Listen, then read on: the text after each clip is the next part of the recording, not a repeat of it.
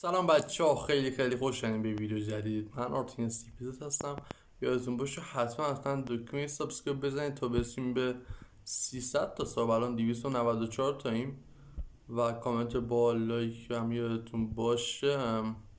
مطمئنم همتون درباره GTA جدید چیزای شنیدید دیگه.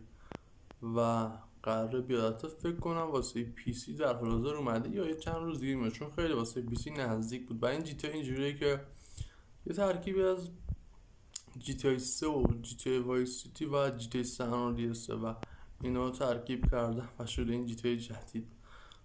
و می‌دونید اما خب مثلا فکر نکنید گرافیکشون همونه نه گرافیکی شنیدم که خیلی گرافیکشو بردم بالا می‌دونید و مثلا فکر نکنید مثلا با همون گرافیک قبلی یا نه.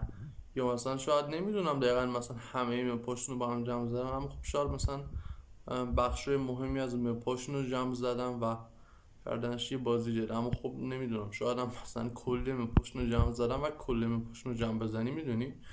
چیزی کمی در نمیاد. شاید مثلا کل مپازی رو جمع بزنی شاید یه 7 گیگی بشه بازیش. اما خب طبق چیزی که من فهمم دقیقا نمی‌دونم. خب واسه موبایل و اندروید کلا شاید یه سال دیگه یا چند ماه دیگه میاد.